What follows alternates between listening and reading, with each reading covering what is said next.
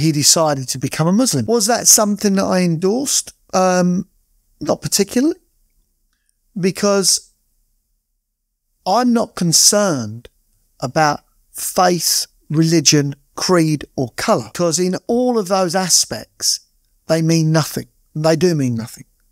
What means a lot is the person behind it. Of course. They're a good person or a bad person. So I was only concerned of his reasoning for doing it and the people behind it. Make sense? Yeah. Nothing more. you. Yeah.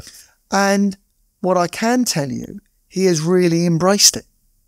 And some of his business partners that are involved with it are extremely, and he may not say this, but are very high ranking. And I think he's found something that he embraced, but he's also made it viable as well.